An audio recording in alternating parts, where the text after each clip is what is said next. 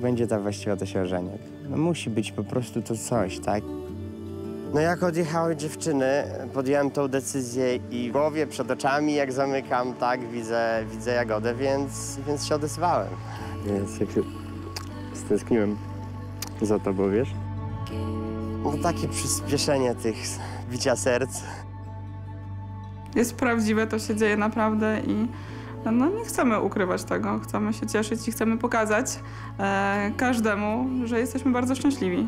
Myślę cały czas teraz już o bardzo poważnie o założeniu rodziny, o, o byciu na stałe, tak, z Jagodą. Może gdzieś tam komuś się w życiu powiedziało te słowa kocham cię, ale nie da się tego porównać z tą relacją, która jest teraz.